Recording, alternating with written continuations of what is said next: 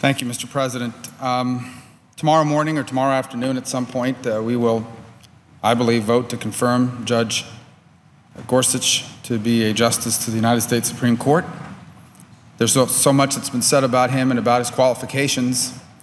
And I've been watching the speeches all week and even heading through the committee hearing. I think so much has been said about him. And uh, this is a mainstream candidate. This is a mainstream judge someone who has voted with the majority 99% of the time in his time on the bench, someone who 97% of the time of the 2,700 cases was a part of rulings that were unanimous. Uh, he most certainly, I believe, is someone that believes that the Constitution should be interpreted according to its original intent of the writers, but certainly not someone outside the mainstream of American legal thinking, and certainly eminently qualified. It's interesting that uh, you see a broad array of individuals come forward and talk about his qualifications.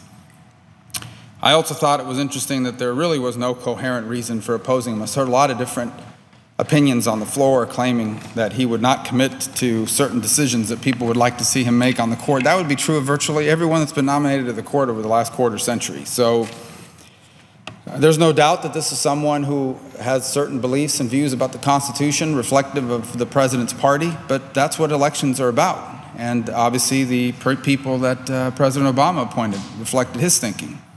And that's our system. A lot of the attention, though, in this debate has been about the process that brought us here and tremendous consternation about the uh, change that no longer would require 60 votes in order to end debate. And a lot of people, I think, have a fundamental misunderstanding of what's happened and how we've gotten here. And I thought it was important for the people of Florida and others uh, who may be interested to know how, how I approached it, because it was something that I am not excited about, nor gleeful about, nor happy about. And I would say that's probably the sentiment of most of the people here in the Senate, and yet it happened anyway. I saw a cartoon by one of these editorial cartoonists, I'm not quite sure who it was, and it had this picture of both sides basically saying, This is terrible, but we're going to do it anyways. I think it's important to understand, first and foremost, about the Senate. It's unique. There's no other legislative body in the world like it. It, unlike most legislative institutions, does not function by majority rule. It actually requires supermajorities to move forward. And that was by design. It was not an accident. The people, the founders, the framers, they created a system of government in which they wanted one branch of the legislature to be very vibrant, active, representative of the people. They represent districts, they have two year terms. And then they did a higher or another chamber, which is different in nature. At the time, the U.S. Senate was designed, first of all, to represent the states. The House was the people's house, the Senate was a place where the states were represented. And the other thing they wanted to design is a place that was, to some level, it's possible, immune from the passions of the moment. They wanted a place where things would slow down for a moment, take a deep breath, make sure we're doing the right thing. It was a wise course.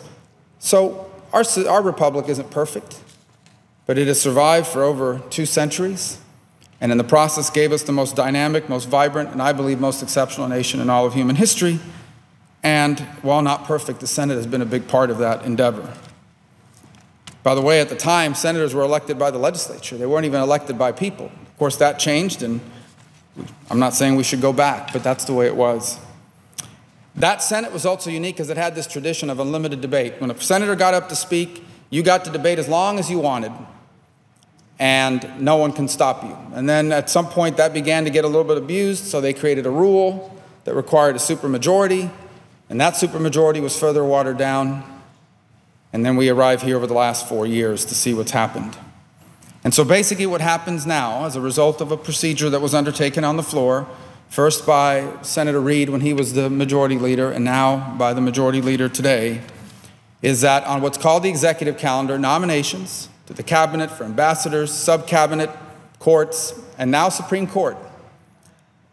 The only way to stop, there are, only, there are two ways to stop debate. Number one, by unanimous consent, everybody agrees to it, or number two, through 51 votes, a majority vote. And I think that's problematic in the long term. Not because of Judge Neil Gorsuch, who I believe in any other era and at any other time would have not just gotten 60 votes or even unanimous consent to stop debate. I think he would have gotten 60 plus odd votes, maybe 70 votes to be on the court. I think it's problematic because we don't know who's going to be the president in 15 years nor the state of our country.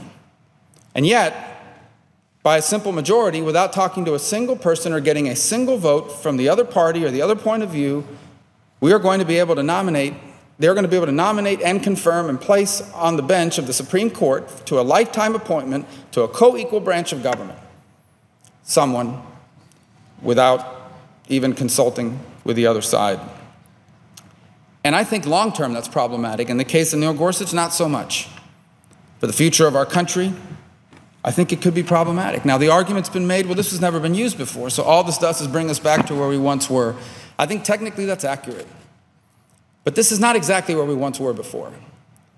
Where we were once were before, we were before was that there were people who worked here who understood they had the power to do this. They got it. They understood that if they wanted to, they could force the 60 votes. They understood they had the power to do it, but they chose not to exercise it. They, they chose to be judicious because they understood that with the power, comes not just the power to act, but sometimes the power not to act, to be responsible, to reserve certain powers for extraordinary moments where it truly is required. And over the years, it's been abused. Now, this is not going to be a speech where I stand up here and say, and this is all the Democrats. I most certainly have quarrels with some of the decisions that have been made by the other side of the aisle. I think it's a moment to be honest and say we've all brought us here to this point both sides, and has required us to do this. The reason why I was ultimately able to vote for the change today is because I'm convinced that no matter who would have won the presidential election, no matter which party would have controlled this chamber, that vote was going to happen. Both sides were going to do this. Because we have reached a point in our politics, in America, where what used to be done is no longer possible. And that has ultimately found its way onto the floor of the United States Senate. Now, rules are rules, and ultimately the Republic will survive the change we have seen here today. I think the more troubling aspect are the things that have brought us to this point. A couple days ago at a lunch with my colleagues, I said one of the things I think we're going to have to accept is that, quite frankly, the men and women who served in this chamber before us and 20, 30 years ago were just better than us. These were human beings that were, quite frankly, had deeply held beliefs. I don't know of any member of this chamber who's more conservative than Barry Goldwater or Jesse Helms. I don't know of any member of this chamber who's more progressive or liberal than uh, Hubert Humphrey or uh, Ted Kennedy or others. And yet, somehow, despite their deeply held principles, these individuals were able to work together to prevent what happened here today. But the fact of the matter is, for both sides, that's not possible anymore. Today, our politics requires us to use every measure possible, even if it's for symbolic purposes. That's just the way it is. And that is more of a reflection of our political process than it is of the Senate. I've seen these articles written, oh, the end of the Senate, the death of the Senate. Now, that's a little bit of an exaggeration. I think it's actually just reflective of the fact that this is the way politics have become. That we are, as a nation today, less than ever capable of conducting a serious debate about major issues the way we once were able to do. And I think everyone is to blame. I think the way politics is covered is to blame. Today, most articles on the issues before us are not about the issues before us. They are about the politics of the issues before us. Today, most of the work that's done in this chamber and in, other, and in the other chamber has more to do with the messaging behind it than it does with the end result or where it will lead us. That's just the honest fact. And before people start writing or blogging, well, look at all these other times when the senator from Florida, when, when me, when I did some of these things, I admit it. I don't think there's a single person here with clean hands on any of this. I admit that I've been involved in efforts that, looking back on some of these things, perhaps if we knew then what we knew now, we would have done differently. I think it's important in life to recognize and learn from those experiences and to adopt them to the moment before us. I think moving forward, the biggest challenge we will face as a country is that our issues are not going to solve themselves. They will require people from very different states, very different backgrounds, and very different points of view to be able to come together and solve some pretty big deals. And it is ultimately not about silencing people or having them compromise their principles but about acknowledging that in our system of government we have no choice but to do so. We have no choice. I think it also requires us to take a step back and understand that the people who have a different point of view than ours actually believe what they're saying. They hold it deep and they represent people who believe what they're saying. And I say this to you as someone who will admit that in my time in public service, perhaps have not always applied that as much as I wish I had. I try to. You certainly live and learn. When you get to travel the country and meet as many people as I did over the last couple years, I certainly think that impacts you profoundly.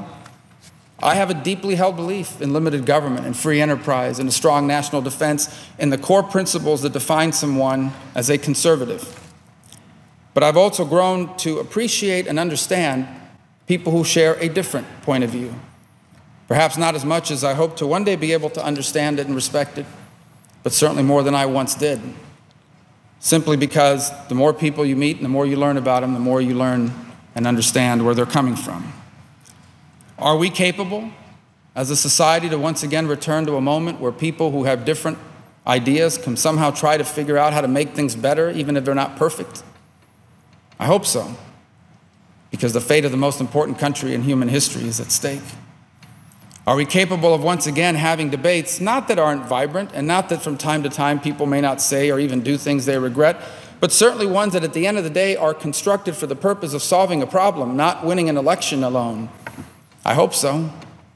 Because if we don't, we'll have to explain to our children why we inherited the greatest country in human history and they inherited one that was in decline. I don't mean to exaggerate because ultimately this is a rule change. We don't vote on the Supreme Court every day, every week, every month. Sometimes we don't vote on it for long periods of time. But I think it exposes a more fundamental challenge that we face today in American politics that we better confront sooner rather than later, and that we should all confront with the understanding and the knowledge that none of us come with it to it with clean hands. I um, we were reminded again this week in the images that emerged from Syria of what a dangerous world we live in, and reminded that the threats remain.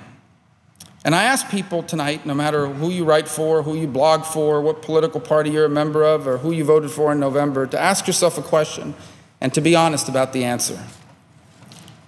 If God forbid, and I mean this, God forbid, there were another 9 11 style attack on the United States, how would we honestly react? Because September 11th was a scary day. And on that day, I remember there weren't Democrats or Republicans. Everyone was equally frightened and everyone was equally angered. And there was a sense of unity of purpose that we had not seen in a long time and had not seen since. I honestly believe, sadly, that if today there were another style attack of that kind of attack on America, one of the first things you would see people doing is blaming whose fault it was. The, you'd have some people saying, well, this terrorist attack happened because President Obama didn't do enough to defeat the terrorists. Another group would say this attack happened because the Republicans and the new president, President Trump, has not done enough or has done things that have provoked them. I honestly believe that. I think that that is the, the debate would look like. I hope I'm wrong. Just think about how far we've come in almost 20 years or 15 years. I, that's the kind of debate I believe we would have. Think about how destructive that is. I also think you would see a plethora of crazy fake stories about what was behind it. And here's the craziest part some very smart and educated people would believe those stories. Because we've reached a point now where conspiracies are more interesting than facts. I know that, you know, people may see this and say, oh, what a, you know, what do you, I think you're exaggerating. Maybe. I hope so. But I honestly think that we're headed in a direction that's actually making us, not us, the Senate, us, Americans, incapable of confronting problems. And I would just say this what I really hope will happen soon is that we're going to get tired of fighting with other Americans all the time. That we'll finally get fatigued with all of this fighting against other Americans constantly. Americans are not your enemies. Quite frankly, I hope we have no enemies anywhere in the world other than vicious leaders that we hope to, to be a part of seeing them taken out of power at some point for the horrible things they do. I hope we'll reach a point where people are saying, "I- I'm just tired of constantly fighting with other Americans. And we'll have differences, we'll debate them. Thank God that we've been given a republic where we have elections every two years and we can have these debates. But in the interim, whether we like it or not, none of us is going anywhere. The vast and overwhelming majority of Americans will live in this country for the rest of their lives. This is their home and this is their country. And we are going to have to figure out how to share and work together in this unique piece of land that we have been blessed with the opportunity to call home. And if we don't figure out a way to do that soon enough, then many of these issues that confront America will go unsolved. And not only will our people pay a price and our children pay a price, but the world will pay a price. And so I know that's a lot to say about a topic as simple as a rules change and ultimately a vote for the Supreme Court. But I really think it exposed something deeper about American politics that we better confront sooner rather than later. Or we will all live to regret what it leads to. And that is the decline of the single greatest nation in all of human history. With that, Mr. President, I yield the floor.